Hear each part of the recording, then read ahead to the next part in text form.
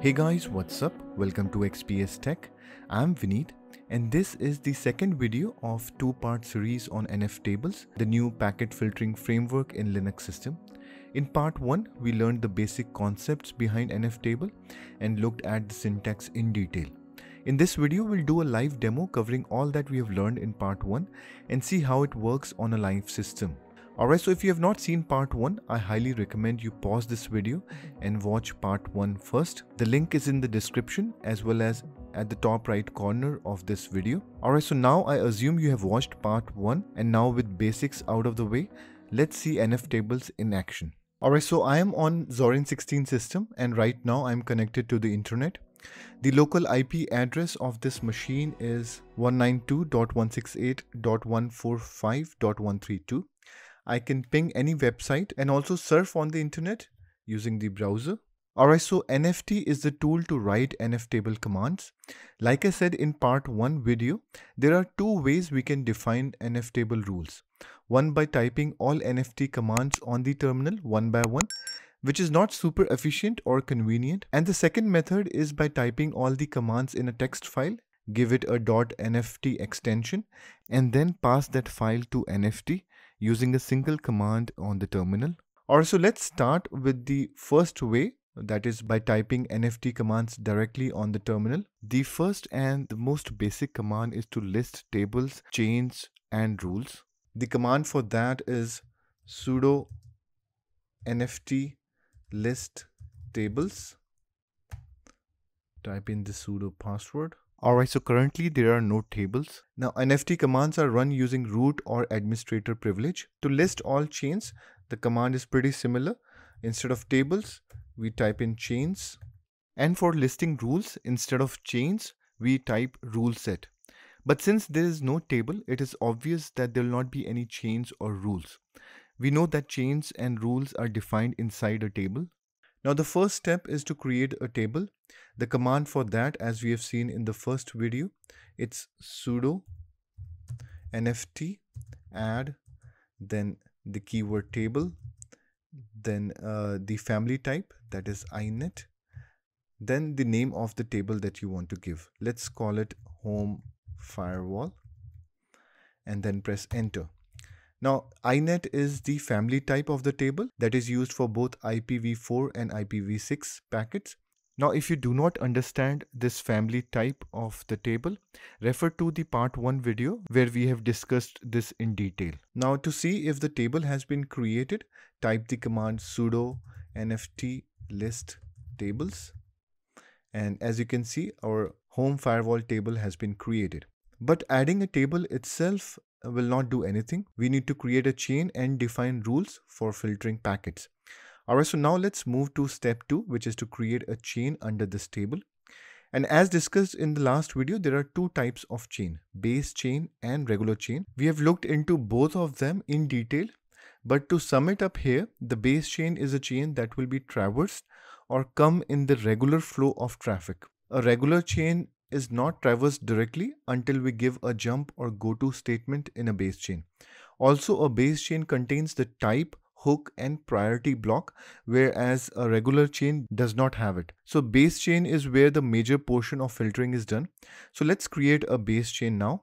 It's a pretty long command so give your full attention. The command is sudo nft add then the keyword chain and then the family type of the table, which is inet in this case, then the table name, which is home firewall, and then the name of the chain that we want to give. Let's call this chain as input, all caps, and then we give the curly braces and then type and it's going to be filter then the keyword hook and hook type we are going to give is input and then is the priority which will be 0 and then colon and then the policy as accept. Alright, so this is the command to create a chain. Now it's a pretty long command and if I enter now, it uh, will give me a syntax error. Now this is because the command has a certain special characters like the colon and the curly braces and this is what I was mentioning about the difficulty in typing these commands on the terminal. So in order for it to work, we need to prepend these special character with a backslash. So I'll just put backslash. All right, now if I press enter, now our command works. Due to the fact that it's a long command, there are more chances of some typos. So it's way easier to do this on a text file. But for better understanding, let's get through this complete command line method.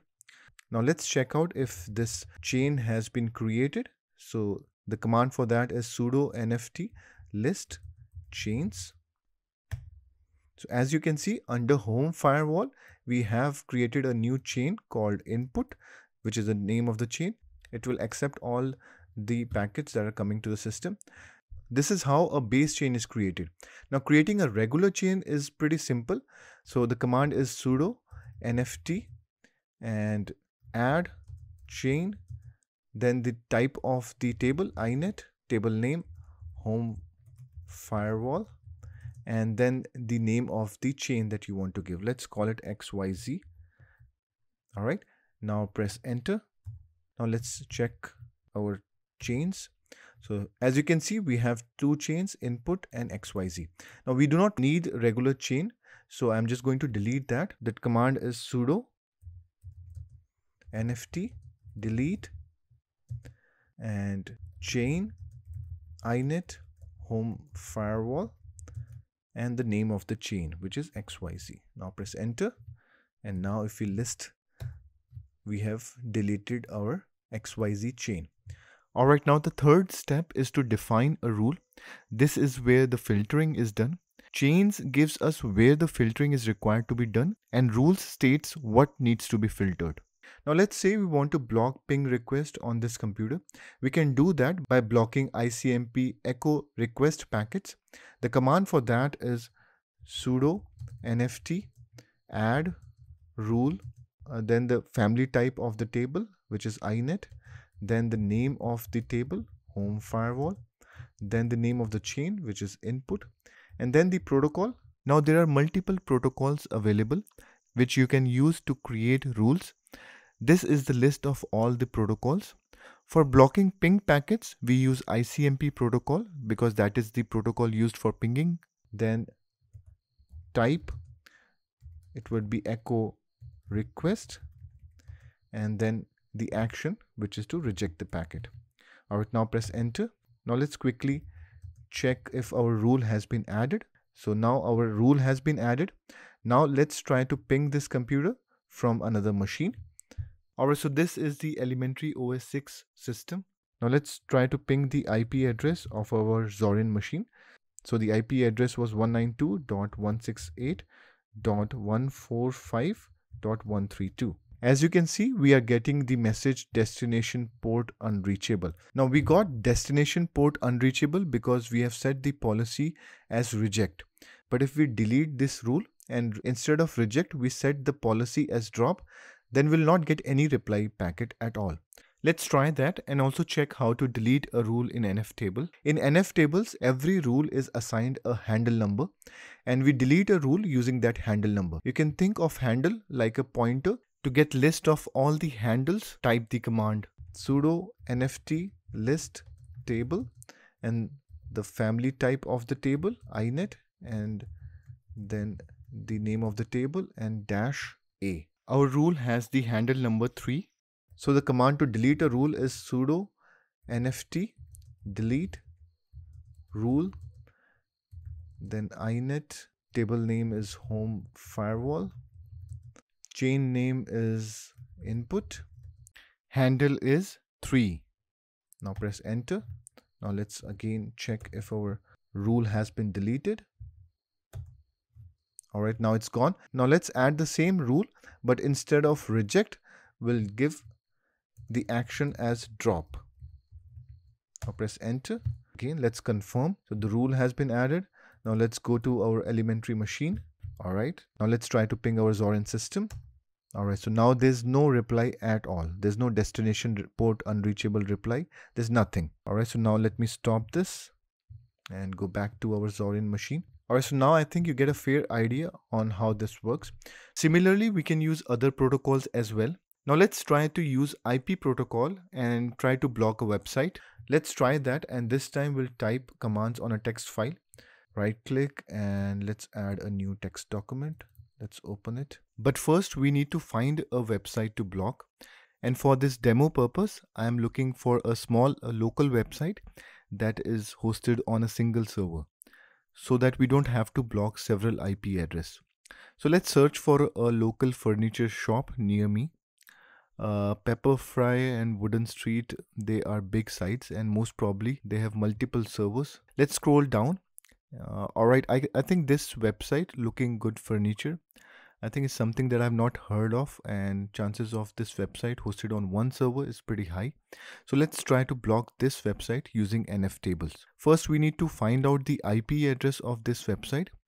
So I'm just going to ping the domain name and looks like they have blocked ping request, but we have got the IP address, which is 13.127.19.131. Alright, so with this IP address, now we are ready to build our firewall to block this website.